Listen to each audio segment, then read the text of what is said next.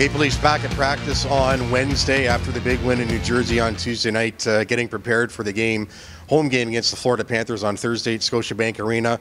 Freddie Andersen not at practice today. Neither was forward Zach Hyman.